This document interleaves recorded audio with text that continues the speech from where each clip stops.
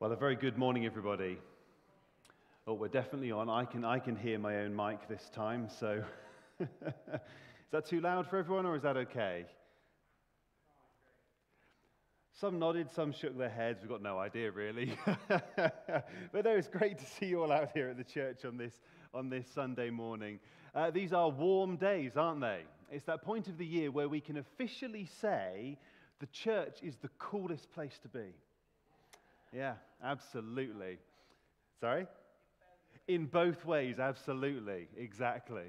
Uh, but no, great to see you, those who are in the building here, uh, and those joining us online. You're very, very welcome to uh, join us as we spend this time together and as we carry on looking through our series in the book of Genesis, uh, which we'll continue on, on with uh, a little later in the service.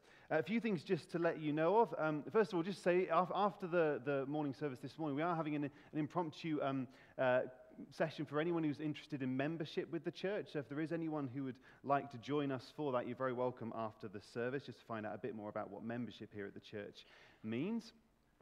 Also, just to say, um, this coming week, uh, I.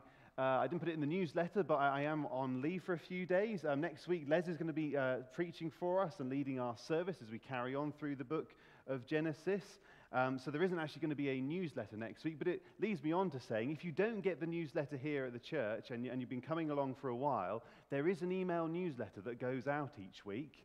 Well, most weeks, just not this coming week. Yeah? Um, but if you want to sign up for that, you can do so. There are um, some little forms at the back which you can just give, a, give your details for, um, and uh, you can receive that.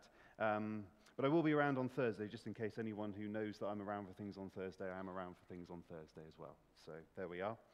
Uh, just also to say, um, those who got the newsletter, um, you will have seen this week that in a couple of weeks' time, we're going to start holding some sessions on a Sunday afternoon. Uh, we're conscious that as we go through the book of Genesis, particularly the first couple of chapters, that it touches on some very sensitive and um, big issues in our culture today to do with identity and sexuality and marriage. Um, we said we'd look at those in a little bit more detail as a church, but not on a Sunday morning, uh, just together as a church. Um, and so these sessions are going to be only for our church family on a Sunday afternoon. The first one is on July the 2nd at 4:30 here uh, at the church, where we're going to be looking more generally at our cultural situation and how we respond with grace and truth before looking at a few of the particular issues themselves in the coming uh, first Sundays of the month in the months to come. So do put that in your diary, 2nd of July. We're going to give this a go in talking about these, these difficult issues together. Um, and as I say, they're just open for our church family this time to come along to. We're going to talk about them together as a church, but you're very welcome to join us for those.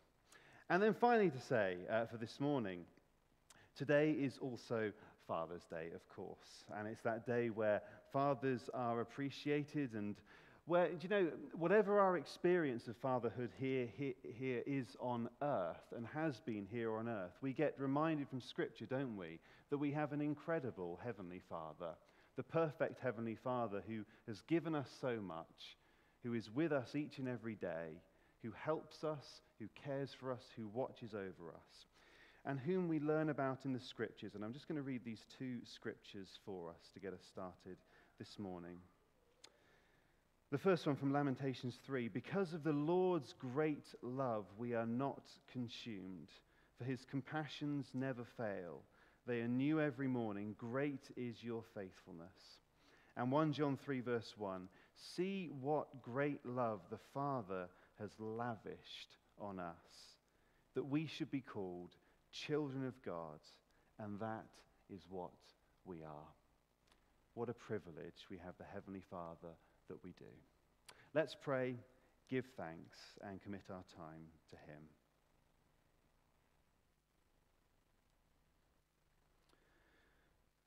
Lord God, we are so grateful for your great love towards us. That whatever our experience of fatherhood here on earth has been, we thank you that you are the perfect Heavenly Father.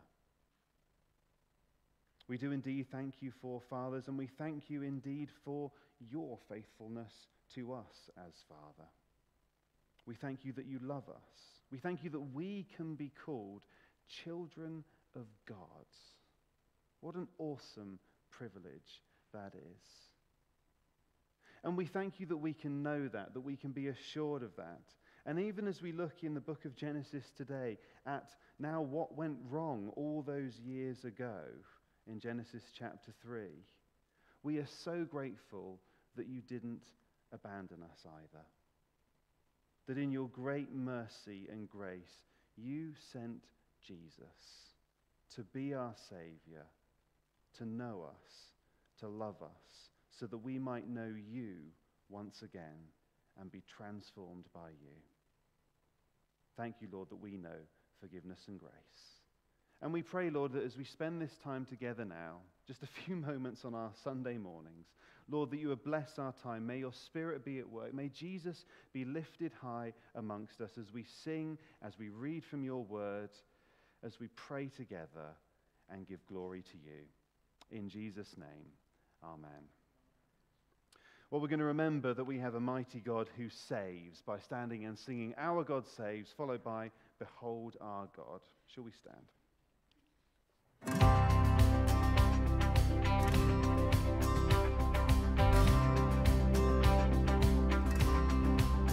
In the name of the Father, in the name of the Son, in the name of the Spirit, Lord, we come. We are gathered together to lift up your name, to call on our Savior, to fall on your grace. Hear the joyful sound of our offering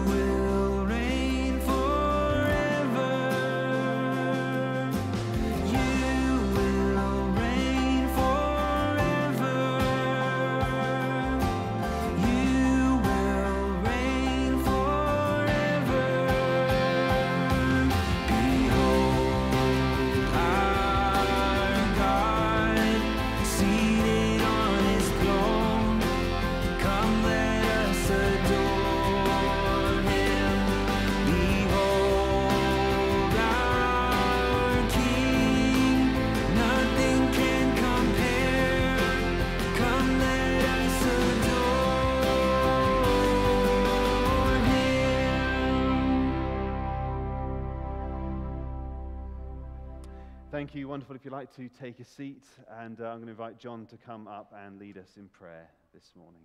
Thank you.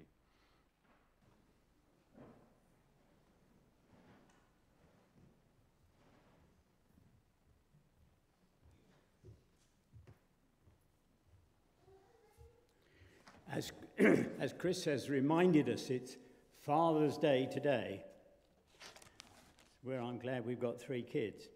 Um, when Jesus was asked by his disciples how they should pray, he taught them a very simple prayer, but it started off by saying, Our Father.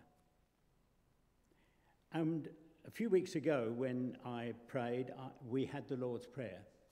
And it obviously went down well because I said, pray it in the version for which you are familiar. We prayed it out loud. And I reminded those of you whose birth tongue is not English, please use your own language as you pray out loud. And so together we gave praise to God in saying the Lord's Prayer. So we're going to start our prayers this morning again with the Lord's Prayer. So please speak up.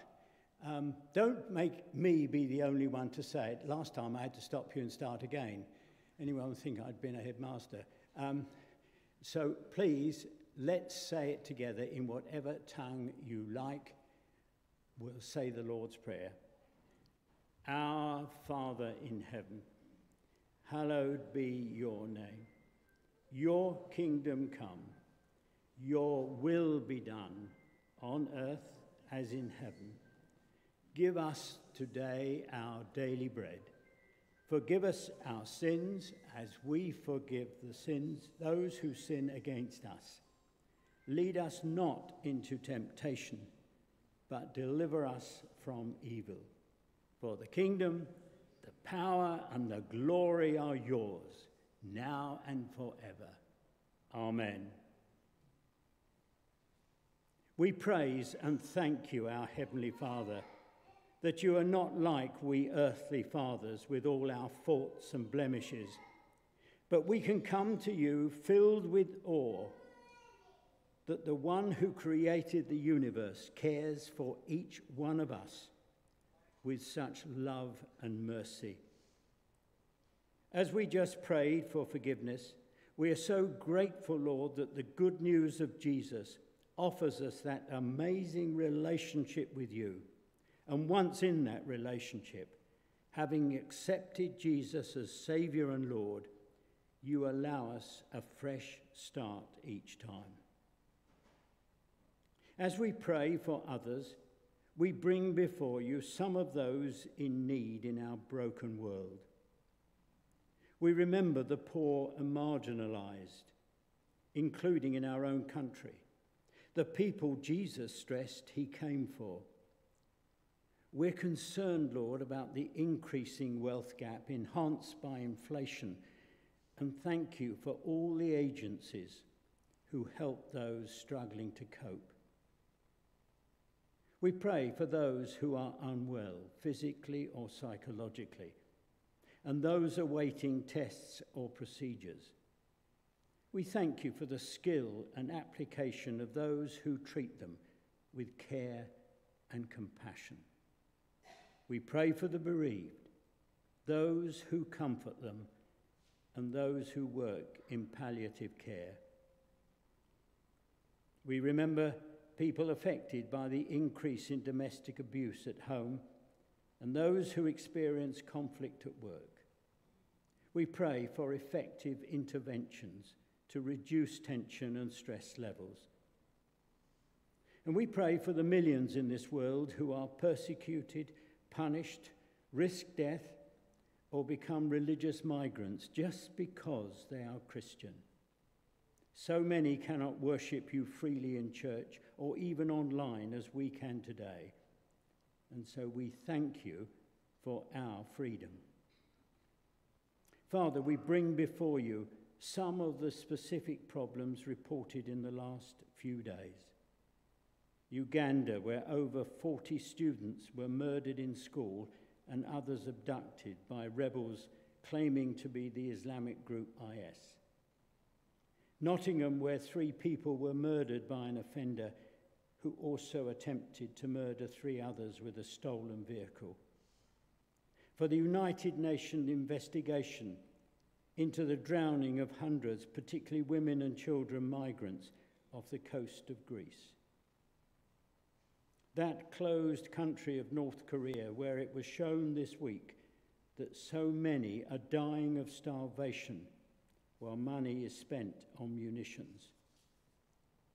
The sabotage dam in Ukraine and the efforts, both physical and spiritual, for those affected, remembering the work of our brother Victor.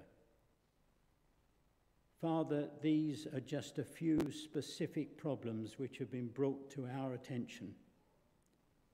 We ask that the world may be more compassionate get its priorities right, and justice to be done by those in positions of authority. We thank you for those who respond in your name. Lord, if our response through our words and actions should be the answer to some of our prayers this morning, may we be open to your Spirit's leading. And so we come before you in prayer, in the name of Jesus. And all God's people said, Amen.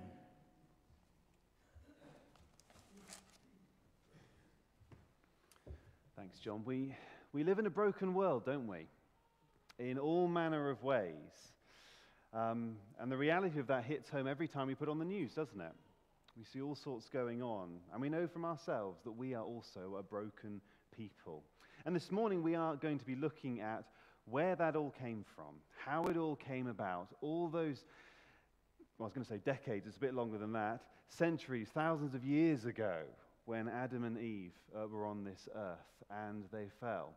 It's funny, isn't it, that when we go, as we go back to revisit the Garden of Eden again, what happened just in, in one located place, it seems so far away from the world in which we live now, and yet at the same time, it makes complete sense that handed down through the generations and generations, we have the problems of humanity that came out of that first act. So we're going to read together uh, before we uh, sing again and then hear from God's word. We're going to read from Genesis chapter 3. If you want to find it in the green Bibles, it's page 5. Uh, but Agnes is going to come and read verses 1 to 24 of the chapter for us. Thank you.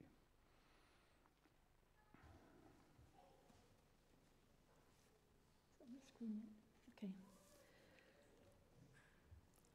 Now the snake was more crafty than any of the wild animals the Lord God had made. He said to the woman, Did God really say, You must not eat from any tree in the garden? The woman said to the snake, We may eat fruit from the trees in the garden, but God did say, You must not eat fruit from the tree that is in the middle of the garden, and you must not touch it, or you will die. You will not certainly die, the snake said to the woman, for God knows that when you eat from it, your eyes will be opened, and you will be like God, knowing good and evil. When the woman saw the fruit of the tree was good for food and pleasing to the eye, and also desirable for gaining wisdom, she took some and ate it. She also gave some to her husband, who was with her, and he ate it. Then the eyes of both of them were opened, and they realized that they were naked. So they sewed fig leaves together and made coverings for themselves. Then the man and his wife heard the sound of the Lord as he was walking in the garden in the cool of the day, and they hid from the Lord God among the trees of the garden. But the Lord God called to the man, Where are you? He answered, I heard you in the garden, and I was afraid because I was naked, so I hid. And he said, Who told you that you were naked? Have you eaten from the tree from which I commanded you not to eat? The man said, The woman you put here with me, she gave me some fruit from the tree, and I ate it. Then the Lord God said to the woman, What is this you have done? The woman said, The snake deceived me, and I ate. So the Lord God said to the snake, Because you have done this, Cursed are you above all livestock and all wild animals. You will crawl on your belly, and you will eat dust all the days of your life. And I will put enmity between you and the woman, and between your offspring and hers. He will crush your head and will strike his heel. To the woman, he said, I will make your pains in childbearing very severe. With painful labor, you will give birth to children. Your desire will be for your husband, and he will rule over you. To Adam, he said, Because you listened to your wife and ate fruit from the tree which I commanded you, you must not eat from it. Cursed is the ground because of you. Through painful toil, you will eat from it all the days of your life. It will produce thorns and thistles for you. You will eat the plants of the field. By the sweat of your brow, you will eat your food until you return to the ground, since from it you were taken. For dust you are, and dust you will return. Adam named his wife Eve because she would become the mother of all the living. The Lord God made garments of skin for Adam and his wife and clothed them. And the Lord God said, The man has now become like one of us, knowing good and evil. He must not be allowed to reach out his hand and take also from the tree of life and eat and live forever. So the Lord God banished him from the Garden of Eden to work in the ground from which he had been taken. After he drove the man out, he placed on the east side of the Garden of Eden cherubim and a flaming sword flashing back and forth to guard the way to the tree of life. This is the word of the Lord. Thank you. And this is the circumstance by which we fell. We're going to look at this in a little bit more detail uh, in a few moments' time, but before we do, we remind ourselves that we can do nothing else but by Jesus Christ Himself. Yet not I, but through Christ in me, followed by amazing grace. Let's stand and sing.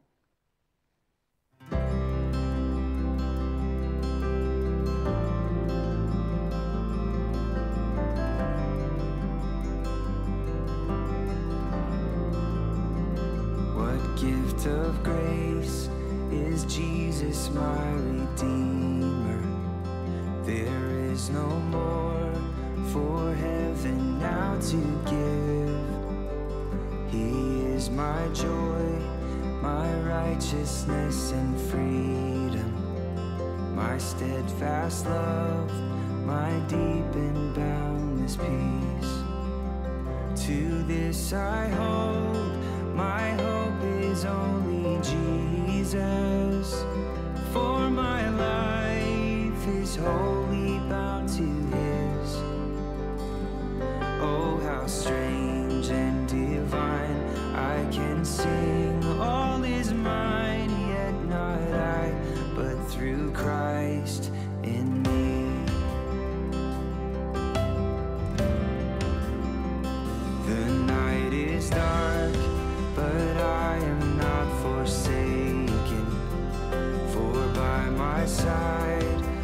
Savior, He will stay. I labor on in weakness and rejoicing. For in my need, His power is displayed. To this I hold, my shepherd will defend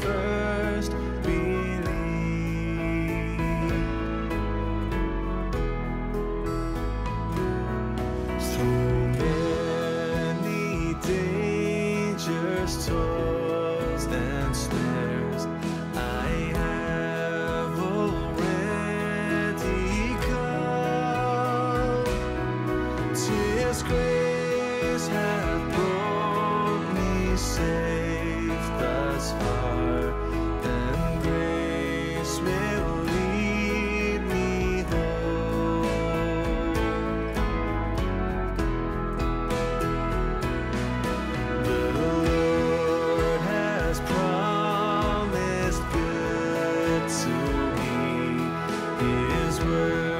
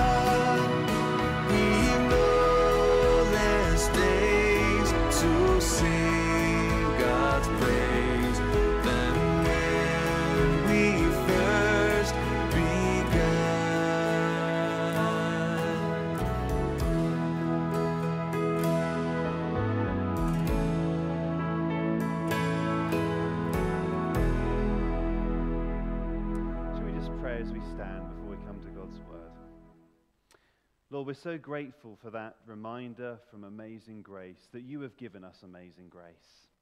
How sweet the sound it is to be reminded that we have the grace of God through Jesus Christ. We're thankful too that it reminds us that you have promised us good. And particularly, Lord, as we look now at what went wrong all those years ago, May we see your goodness also at work for us. Your good provision and your good grace. In Jesus' name we pray these things. Amen. Amen. Well, please do uh, take a seat. Well, if there is a problem, you've got to be able to diagnose it, haven't you? And this is essentially what we're going to be doing this morning as we look at Genesis 3. And it's amazing, isn't it? Things went so wrong so quickly after humanity was made. We get a full two chapters in the Bible, two chapters where everything is good, everything's going well, and then everything takes a sharp nosedive and goes completely wrong. Uh, we looked at creation itself in chapter 1. We looked at God's foundation for our lives in Genesis 2, and now it's the fall in Genesis 3. And basically, what we're going to look at this morning is um, what happened when we fell and how did it all come about. There's the old joke, of course, which goes that Adam blamed Eve. Eve then blamed the snake, and the snake didn't have a leg to stand on. That's as good as it's going to get, I'm afraid.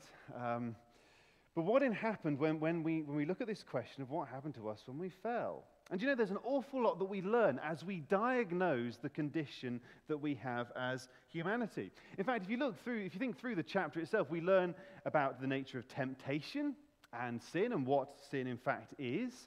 Uh, in the very first human sin, we learn so much about the nature of it and its character, the way it works in our lives and gets into our lives and what to be aware of because of it. We see, uh, you know, as the prayers that we had earlier reflected that we see why the world is the way it is today. Genuinely, it can be traced back all those years to this very event of the first sin and the fall of humanity. We see the root of sin, how it came about, and how it's pervaded humanity ever since. All sorts of problems, issues, conflicts, and not least between humanity and God Himself. It also answers a couple of questions, in fact, about the devil as well. We don't often talk about the devil or, or Satan, as he's also known, and his role in sin. Did the devil make me do it? It's a question people sometimes ask. Did the devil make me do it? Did he make Adam and Eve do what they did? Where does he fit in this equation of uh, the one who is described as the tempter, the deceiver, basically the anti God figure of all human history? Is he just this mischievous, horned looking fella who's all red, who seems to like pitchforks and smirking a lot? Is he just that, or is there more to him to it? Well, we're going to do our best this morning. Lots of things we could cover, so little time to answer them. And that's before we get to God himself and what he does and what he does for us in particular. He gloriously does some things for us in this chapter as well, even as it all goes wrong. So we're going to dive right into it this morning, uh, where our passage begins with the first few verses and look at the nature of temptation first of all. Um, really, verses 1 to 7, it's the first scene of the chapter. We rejoin, don't we, the Garden of Eden, this idyllic place uh, of all that God had made, and Adam and Eve, uh, his wife. Um, she's not, in fact, got a name until later in the chapter. That comes a little bit later, following the wonders of all God, God puts in place and given them. Um, and indeed, all that he's given them in chapters 1 and 2. Chapter 1, it finishes those six days of creation with God looking out at all that he had made and declaring it was all very good. Very good, he declares.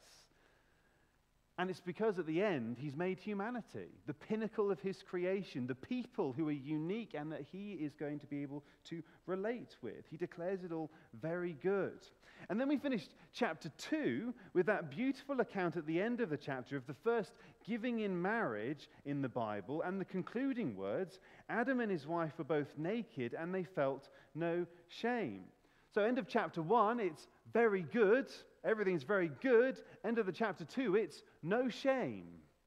No shame in humanity at all. No shame at all. It's not felt, it's not known, it's not experienced. There is no shame at work. It sounds good, doesn't it? Sounds good to, to us. You've got innocence, you've got unity, you've got glorious peace in its deepest form. They are the overriding hallmarks of humanity at the end of chapter 2. It's perfect, and God will have been just as pleased about it. And then chapter 3 opens. Oh, yes. Chapter 3 opens, and a new character emerges the snake, or serpent as he's known in older translations, but a slithering creature regardless, who is going to be the first voice of disruption, of disharmony against the foundations that God has just laid in place, and ultimately the tempter of disobedience, leading to the very first sin. So let, us think a little bit about him first of all. Um, is this just a figurative character or creature, a sort of story, a mythological story to explain what happened? Or are we talking about a real snake with real people? Well, first of all, Adam and Eve, real people definitely. They, they are literally there in the garden in the manner described. Jesus and Paul in the New Testament, they both refer back to this couple and Paul uh, directly to Adam's fall. In fact, if you look at the genealogy of Jesus in Luke's gospel, it, he goes all the way back to Adam. It takes you through all of the generations back to Adam. Well, not, not all of the generations, it's a summary, but the, the, the, the summary of generations back to Adam himself. So we're talking about a real couple here, a real couple who really fell. The snake, is he just figurative for some kind of evil or an actual creature? Well, again, he's a real creature. we read in the end of verse 1 now the snake was more crafty than any of the wild animals the Lord God had made. So God has made this creature. It's part of his creation. And ultimately, of course, we're reminded God created Satan in the first place. It's worth saying. Satan is not a God. He's pretending to be that or trying to be that. He doesn't occupy that position or power, albeit he wanted to, and that was the problem. He's a created angel, formerly called Lucifer, which means light bearer, um, who was created to be in the service of God, who we read elsewhere in the Bible has himself fallen because he rebelled against God.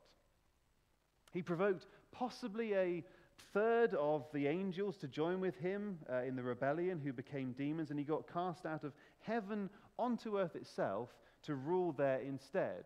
Satan's dominion is not hell. Don't believe the cartoons. His dominion is the earth, okay? This is where his kingdom is, and this is where he is now at work. I think the next slide, there's an image, um, an illustration of the, the fall of Satan. Um, this is by Gustave Doré from uh, John Milton's Paradise Lost, that famous poem uh, a couple of centuries ago. This depiction of Satan being cast out along with his fellow angels uh, by Michael the archangel. Satan's dominion is now on earth, where he falls from that position where he sets out to deceive the world. And we don't know quite when that happened. It was sometime before this event in Genesis 3, it seems. But Jesus himself says, I saw Satan fall like lightning from heaven in Luke chapter 10.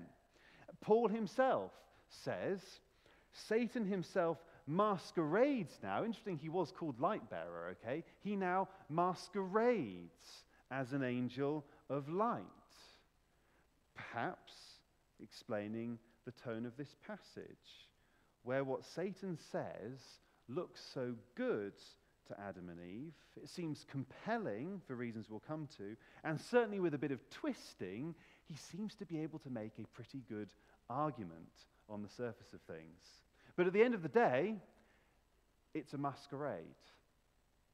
It's all cloak and dagger. It's darkness posing as light and enlightened thinking. Thoughts planted that become temptations, and temptations that lead to rebellion. And we know specifically the snake is the devil because in the book of Revelation, chapter 12, it describes that previously mentioned ancient battle between God and Satan, and it says this The great dragon was hurled down, that ancient serpent called the devil, or Satan, who does what? Leads the whole world astray. He was hurled to the earth and his angels with him. So these are one and the same. These are one and the same. The snake is the devil. And, and whether or not, this, the text isn't clear, whether or not Satan has possessed the snake, certainly he changes from being a dragon to a snake uh, within that, that, that verse just then. Whether he changed form to be a snake, or, or whether he just simply convinces Adam and Eve that the snake is talking, because let's face it, no ordinary snakes talk, at least not the ones that I've seen. I don't think it matters. What matters is it's Satan at work. The snake is what's described. And everything, the whole created order itself gets turned upside down and on its head because of his own scheming. Did God really say, Eve, you must not eat from any tree in the garden? It's clever because he is clever. And it's oh so subtle as well. Because let's face it, to get back to the action, where's the harm as he introduces himself to Eve? Where's the harm at its outset in having a discussion about what God has said and done? Doesn't appear to be any harm in it to begin with. You know, do I overhear Eve? I don't know why, but I imagine he's got a posh voice. Do I overhear Eve? That God said something about not eating from any tree in the garden? Please, will you clarify it for me? Tell me, what did God actually say? I think I might have missed it. Clever. Clever. In fact, what Satan did was he was tapping into something, two things, in fact, about human nature itself that even at the outset seemed to be apparent. The first is this he taps into the fact that we all like to feel important. First thing he does. Have you ever been in a situation where someone, or you're in a group, and someone asks a question of somebody else in the group, and because you know the answer to it, you jump in and give the answer before they get a chance to answer? You ever done that before? I have. Why do we do it? It's because we like to feel that we know what the case is. And it gives us that little feeling of importance that we know something that other people don't. Remember, Satan knows us. And in fact, he also knows us better than we know ourselves because he's known humanity for so long. You know, even at the start, he seems to have the inside track on our proclivities, the natural inclinations of our hearts. And he does it by getting Eve to clarify, it's so clever, a prohibition that he implies God may have put in place. You see, the one thing the devil has got to overcome in all of this, the one powerful object that he's got to get Eve and Adam over in order to cause them to fall is this he's got to overcome what God has directly said. That's the hurdle he's got to get over with Adam and Eve what God has actually said and why he has said it. That's the crux of the whole thing. So he starts by tapping into this, this sense of self importance and self determination. And then, second, very cleverly as well, he makes out, in perhaps a small way to begin with, that God, well, God may just be being a little bit miserly towards them. He's being a little bit of a meanie towards them. What did God say you couldn't do again? See how clever that is? You know, hear people when they make arguments like that. So, what did he say you couldn't do, first of all? I mean, we all know that if there's a sign saying, don't step on the grass, what do you immediately want to do? You immediately want to step on the grass, right? These sorts of things are inbuilt in us. It doesn't take much to bring them out. What did God say you couldn't do again? Was it eat from any tree in the garden? I can't remember. I'm only a lowly snake after all, and you're much more enlightened about these things. Tell me, Eve, what did he say? It's very clever. And it's one of the oldest tricks in the book, one that he's going to develop in just a moment. Because make no mistake about it, Here's the other thing that God knows be- uh, that, that Satan knows better than we do. Satan knows God better than we do. He's been with him or was with him for a lot longer as well. That shouldn't make him scary because he's not God, but it should make us very wary of him and what he's able to do, of things that masquerade as light but are actually darkness. He's good at his job. Now, now, he knows full well that there is a reason why God has told them not to eat from one tree in the garden, the tree of the knowledge of good and evil. I mean, for starters, it's the only tree, it is the only tree that is off limits to them. That is how, quotes on quotes, miserly God is actually being, although he's not even being that for reasons we'll, we'll come to in a moment. In all of the goodness of God towards humanity, it's the only tree that's off limits. So he's got to get them thinking that God's being prohibitive somehow, that God is being a bit mean, and that through this tree, this one off limits tree, God is withholding something from them that they really do want and need that would really benefit them, that he doesn't want them to have because he's being restrictive of them. And what does Eve do? She walks right into the trap that is placed before her. Because we discover, perhaps again like all of us, that we kind of want what God wants too. We want to be a bit like him as well. I mean, you can see it in her reply, first of all. Did God really say, You must not eat from any tree in the garden? Eve replies, We may eat fruit from the trees in the garden, but God did say, You must not eat from the tree that is in the middle of the garden, and you must not touch it, or you will die. Notice the tree isn't named. She doesn't actually name specifically the tree, just where it is. Already, for whatever reason it might be, she's begun to gloss over this somehow. She's begun to smudge the lines away at the edges. She doesn't say which tree it is, only where, and she's clearly already changing what God has said in some way. Because, if you notice, she adds to what God has said. Now, God said they weren't to eat from the tree. She adds, and you must not touch it either. God's not said that. He's not said they can't touch it, just about the eating part. I mean, I would suggest here's, here's a note on temptation itself that if you're already beginning to play with something around the edges, and perhaps even playing with something that God has said, it won't be long until you fall into the trap of it. It doesn't take long if you're playing around the edges of an issue, of something that is in fact sinful, to fall into its trap if you begin playing with it. It's a word of warning. Temptation is often a slippery slope which begins with something borderline, or sometimes with something that's very good, in fact, that gradually, slipperily, in a slippery way, leads to something that it's wrong. And it's like that with the Word of God, too, in fact. If you begin playing with it and playing around with it, you might just fall into Satan's deceptive trap. It's the old saying start playing with fire, and you'll soon somehow get burned. And finally, if you can also be convinced alongside this that God's being mean and miserly and, you can, and she's begun adding to his commands by playing with them, if you, can, if you can also be convinced that the consequence will not be as bad as God has made it out to be, and in fact, it might just be beneficial to you, better for your self governing life, better for your desire for self uh, importance and personal growth. I mean, these are compelling arguments, aren't they? They are hugely compelling arguments. It's the kind of prod that an angel of darkness, masquerading as an angel of light, will try and give you. Which is when Satan finally gets her to that place of disobedience.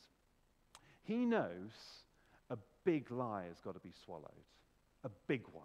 It's a corker, okay? It's a big lie that's got to be swallowed in order for this to work.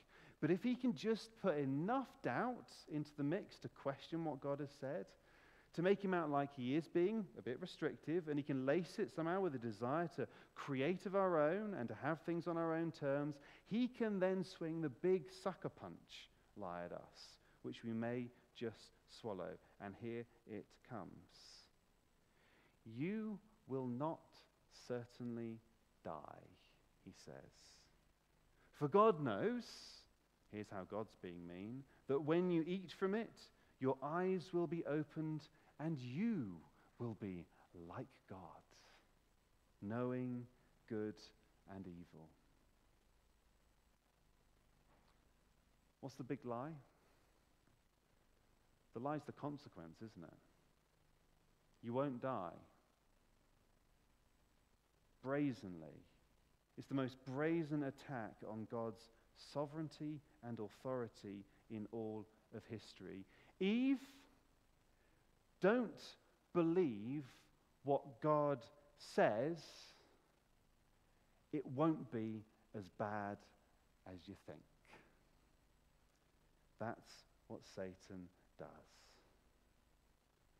It's the clinching argument. And I mean, look at the mess we've been in ever since, the mess of our world around us, and tell me that's not the biggest lie in history right there. It should make her do what we all should do when we're tempted by things, by the way. It should make her run for the hills to get away from it. But he's already got her drawn in. She's already in that place. He's already given compelling reasons to carry on the conversation. And he's just about to give another because who doesn't want to be like God? in some way, shape, or form? Who doesn't want to occupy the position of God in our own universes when it comes down to it? Knowledge is power, after all, so the saying goes. And the whole point, here's the bit about the tree of the knowledge of good and evil. The whole point of the tree of the knowledge of good and evil is that if we eat it, we would, in some sense, we would become like God in eating its fruit. We'd lose the innocence of basking in everything that good that God had given that simple trust, the relationship we had before, as, we eat the, as they would eat, were to eat the fruit, it would open them up to be able to determine good and evil, to be able to see it for what it really is, and then the ability to walk in it as well. Just by eating the fruit, which opened them up to it. And when you put it in those terms, you realize why God doesn't want them to do it. Why he withholds that particular element, because it isn't good for us. I mean, only God at the end of the day should know what is right and good for his creation, but he wants us to choose that as well, to find him so compelling that we wouldn't even go near the thing which would tell us otherwise. That we would find him so compelling that we would live his ways and listen to his words. I mean, he gave them every good tree bar for food, bar one. That's all. That was his gift. I mean, God is in no way being miserly to them by withholding one tree, by him being the one to determine what is right and wrong. But if you begin to doubt that God is gracious and good, begin to think he's not got our best interests at heart, begin to think He is withholding from us all that we could be, when in fact he made us, suddenly we can end up in that place in a thinking that leads us far from him, just as Eve does. And let's apply it to today's world as well. Let's take it to, to today's, today's world. Our world does this all the time. You'll hear things all the time like, well, the God of the Bible, he's harsh, he's vindictive.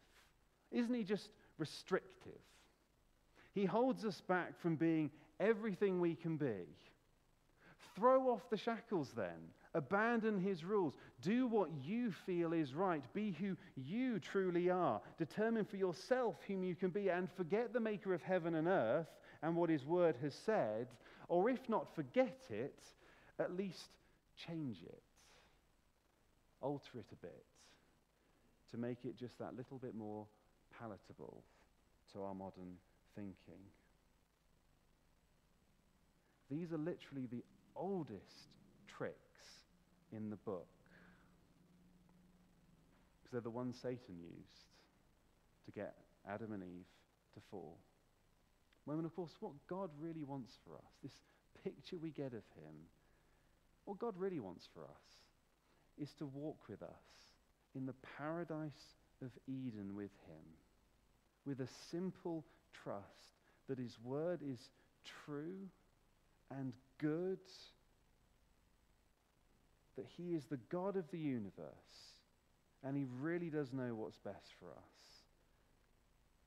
He calls us not to be deceived into thinking we can make our own way. Be it, as Eve points out when she looks at the fruit, by the appearance of the fruit. Well, it seems good for food. Why not? Seems okay, might benefit me. Yeah, but by whose determination? You know, it is so easy to rationalize sin.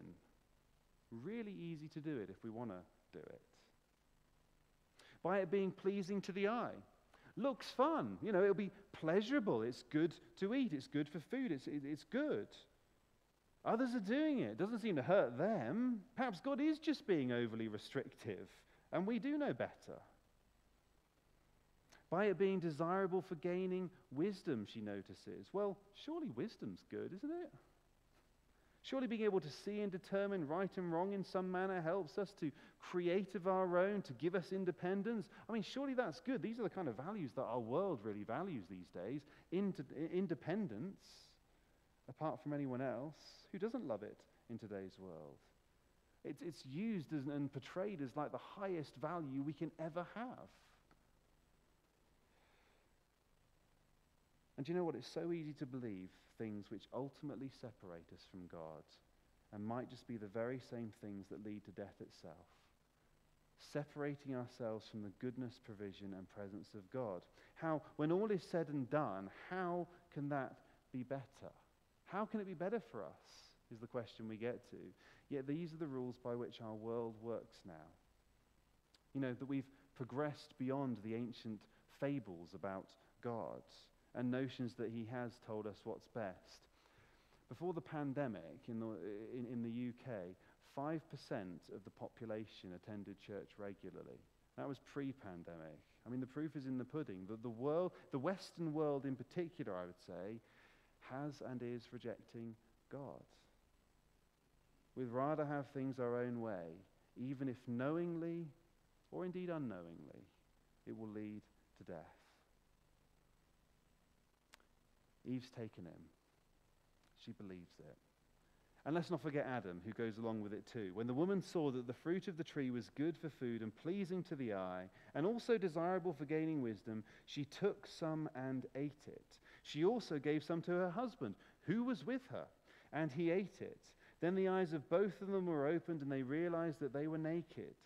So they sewed fig leaves together and made coverings for themselves. I mean, suddenly you notice, don't you, that what was so sweet and so good, that picture of no shame at the end of Genesis 2, has already broken apart. It's already become shameful to them. Innocence has been lost. The, the paradise of living in this goodness of God to determining what's good themselves, it shatters the picture of Eden irreparably in a moment. And it breaks their relationship of trust with God himself. I mean, even down to that, I mean, it's, it's a tragic picture, really, when you think about it. The, the, the, the cluelessness of, of trying to cover themselves up using some flimsy fig leaves that they've found to, to hide what has tragically become shameful. I mean, it's a terrible picture of where this leads. Right from the moment of fall, they try and patch it all up by putting what amounts to a sticking plaster, some fig leaves, over the open wound of shame that's broken out. That's broken out between each other, that's broken out across creation from this point, and that has broken out before their Maker as well. This is a travesty. Let's not think of it anything less than that. And this is where our world went wrong. It's where all the pain, all the suffering has come from. All the strife and conflict has entered. And it's where death itself entered the human condition, and we've lived with its consequences ever since. Did the devil make us do it? No. He can never make us do anything. But what he can do is he can prod and provoke and masquerade, get us to doubt God, and he may just do enough that we too can be taken in. These are the oldest tricks, and he employs them in the newest ways with us today. When God calls us, not to a false light, not to an angel masquerading as light, but to the true light, which brings life to all of humanity. What about the last couple of points? Uh, the, the, these are shorter, but what, what happens next? Well, first of all, there, there is the necessity for judgment, which is obvious after this. Uh, God appears in the cool of the day. You know, if, if we thought what comes next, by the way, sounds awful, it is in one sense, and maybe God, um, and, and God is working in a certain way to deal with what is happening. But you know, the very fact that he shows up after this rejection of him tells a story. From the start of all things, God really wanted us. And even in the fall, he still does. He's still there in the garden, looking for the people whom he loves and has made, even though he knows that they've rejected him already. Do you know, if, I, I think one of the solutions to our world today, to the, to the confused world, state of the world that we've got, to, to some of these thoughts that people have about God and so on. Do you know, I think if our world truly understood the passion by which God wants us, that He really does deeply care about you and me, far more than even we as believers understand at times, we would find deep wells of persuasion to convince our world that unlike the lies the devil foisted on Eve, God really is desiring us. He really is desiring that we relate with Him, that He really does love us with an unquenchable love, a love that is even seen as He judges Adam and Eve. I mean, the world would find new hope. If we as Christians cannot be convinced that God truly does have our best interests at heart, and even where He puts rules in place, even where He disciplines us in life, that it is still in His goodness that He does so, what chance does our world have? It'll go on believing his judgments are vindictive, that his restrictions hold us back, that we should be free to live exactly what we feel we should, and being exactly who we think we should be. If God is no longer good, then why trust him at all? And yet, even after the fall, where do we find him?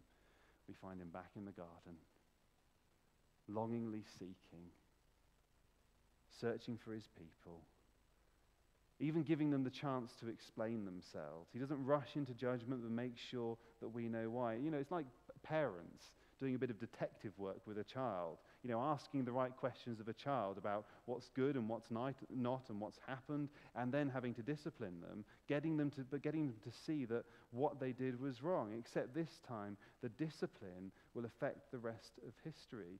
They do the Adam blamed Eve, Eve blamed the snake. The snake didn't have a leg to stand on. They do all of that. They do all of that. They blame each other. And then God begins dealing with them, starting with the snake. Here's what he does. Number one, the snake is cursed. Satan is cursed. He deals with him. And the emblem of his cursing is the indignity of crawling on his belly, eating dust for the rest of his life. Uh, some people wonder, is this the, did the snake have legs before? Did he lose them at this point? I don't think that's particularly the issue, no idea. But the picture is more about Satan than snakes at this point. He's judged and cursed and will one day be defeated. What about the woman? Well, the woman gains pain in the very expression of God's call to multiply and fill the earth in childbirth. Excruciating as a sign of what the fall has done. And in relationship with her husband, that relationship lying at the heart of the human race, for amongst other things, its multiplication, that their, their relationship will be tainted by the desire for mastery. On both sides, in fact, not mutual submission out of love. Even the most intimate of relationships will become fractured. What about Adam? Whereas Eve has to now endure the sharp pains in connection with childbirth, Adam receives the long, drawn out pain of lifelong toil from the ground, the earth frustrating all attempts to grow food, the necessity for life, producing thorns and thistles, getting in the way of God's blessing towards them. Even creation is tainted at this point as a sign of what the fall has done to the earth, and finally compounded by the entering of death into the world. By the sweat of your brow, you will eat your food until you return to the ground, since from it you were taken, for dust you are and to dust you will return. A reversal to the origins as judgment. But is that all this tells us as we come to a conclusion? Do you know it's not? It's not all it tells us. Even in what seems like a damning judgment, we see kindness and grace in our final heading, the signs of salvation. You see, the last part of the passage, it seems negative in verse 20 to 24, but it's not. Adam and Eve are banished from the garden, but it's because God sees need to separate them from the tree of life that enables them to live forever. For starters, who would want to live forever in such a tragic, fallen world? We can't even imagine what that would be like the frustration of it, the shame associated with it, the endless cycles of sin we seem to get caught in. God knows that that's not the correct end goal. It's certainly not what He wants for His people. So He expels them from the tree of life in the garden and bars the way back in. Again, not being vindictive, they just won't live forever now. Death will be an end to their natural life on earth. And in one sense, it's actually a kindness that it doesn't perpetuate the kind of hopeless life that they may have otherwise been living. Not that life should be thrown away, don't get me wrong. There is innate purpose, and as we'll see, true hope that comes about, but the way is barred to living forever to prevent us experiencing the ongoing cycles of tragedy in life. But then you also take in what God is doing in, in, in things for them too, alongside. It's here that Eve gets her name. Adam names her Eve. He's able to see through what God is doing and saying that there is a future. She will be the mother of all the living, as the name means. It's glimmers of faith rebirthing again. It's proof that purpose still very much exists. And then do you notice what God does for them directly? He reclothes them, He gives them new clothes. He takes away their sticking plaster fig leaves that they've tried to make. And God makes proper new clothes and gives it to them as a gift. Or, in other words, he sacrifices an animal to cover their shame. I wonder what that points towards.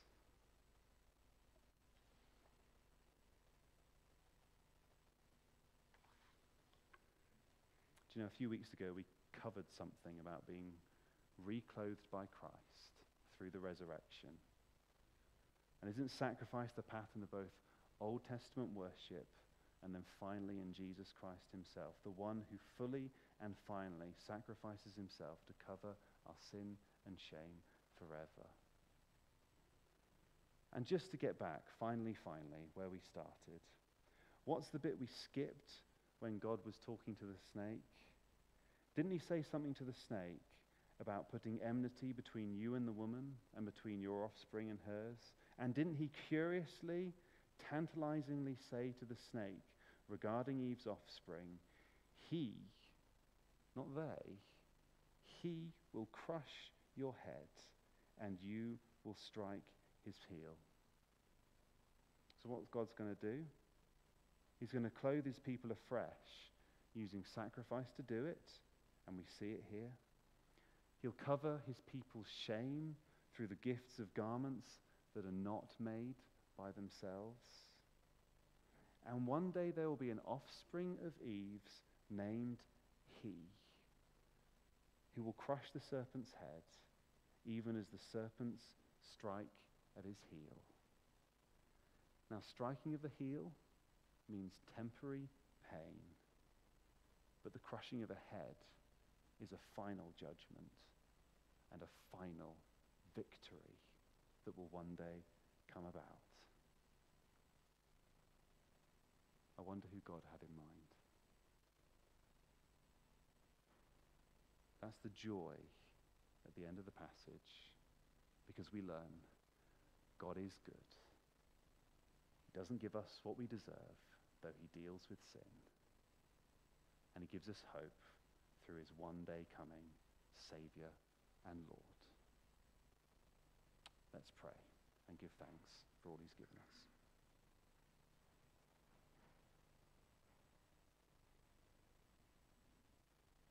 Lord, your word is astounding as it helps us see and diagnose our own condition and our own proclivities.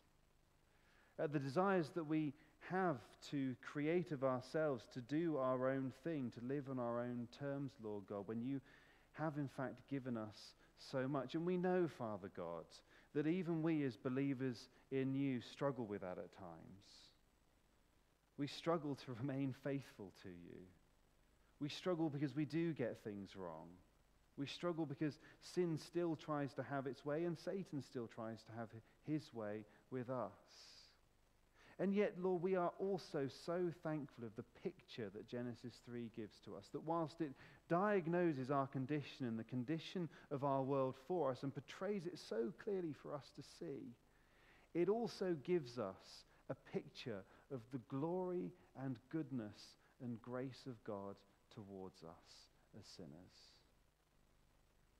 That yes, indeed, you have given us a future and a hope that yes, indeed, you have given us new clothes to cover our shame. That yes, indeed, one day there will be the final ends of a victory that you started in Jesus Christ when he gave himself for us on the cross. That one day Satan will be fully and finally defeated. That one day we can enjoy the hope of a perfection with you for all of eternity. not just managing our way, not just stumbling through, but perfection and freedom and hope and joy and peace to worship you, to be with you forever. So, Lord, I pray for us this morning. We pray and ask that you would fill us with that same hope and enthusiasm to be a people who follow you in this place. May we be able to see through the devil's schemes and resist them, Lord God, because we want to serve you. May we be a people of the gospel which truly brings hope to all through what Jesus has done. And may we ourselves come to that knowledge, that, that motivation and fulfillment that comes through knowing that you love us so dearly and so deeply, and you care about each of us in such a deep way that we don't often always acknowledge, Lord God. And yet it is true as you look down from on high and walk with us in our lives. So grant us your grace as we go into the coming week, and may we be filled with enthusiasm to follow you more closely. In Jesus' name we ask. Amen. Well, as we finish our service, we're going to sing as we close, and those on live stream will leave us after this song. We're going to remember that great sacrifice by which God saves all things. Once again, I look upon the cross where he died. Let's stand together and sing.